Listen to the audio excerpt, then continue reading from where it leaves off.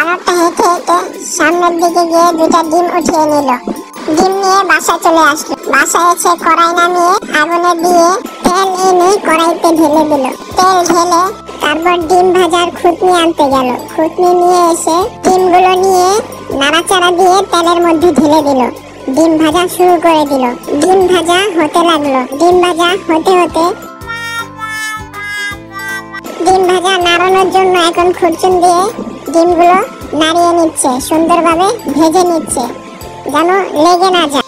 এপাট ওপাট করে ভালোভাবে উল্টিয়ে ভেজে নিচ্ছে ডিমটা, যাতে পুড়ে না যায়। ভালোভাবে ডিমটা ভাজা হয়, সেজন্য ভালো করেই উল্টে পাল্টে ডিমটা ভেজে নিচ্ছে। কি সুন্দর ডিম ভাজতে পারে, আপনারা দেখেছেন বন্ধুরা? ডিমটা ভাজা হয়ে গেছে, সেজন্য ভালোভাবে নাড়িয়ে প্লেট নিয়ে নিচ্ছে ডিমটা। ডিমটা প্লেটে উঠিয়ে নিল কি সুন্দরভাবে তেলগুলো ছেঁকে। দেখেছেন বন্ধুরা? দেখুন, ডিমটা প্লেটে নিয়ে সামনের দিকে হেঁটে যাচ্ছে, বসার জন্য সাথে কুকুরকে নিয়ে ডিমটা খাবে। ডিমটা নিজে খাচ্ছে ও সাথে কুকুরকেও খাওয়াচ্ছে। দেখুন কি সুন্দর দুজন ডিমটা ভাগ করে খাচ্ছে।